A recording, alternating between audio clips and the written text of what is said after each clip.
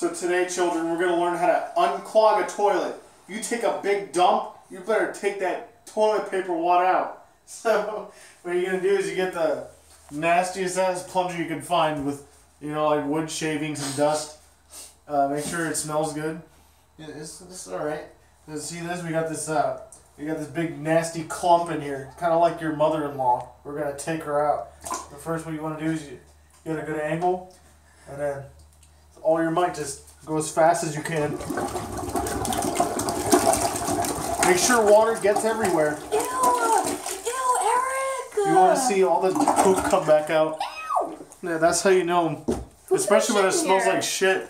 You successfully. Who took a shit in here? Erik! That was not me.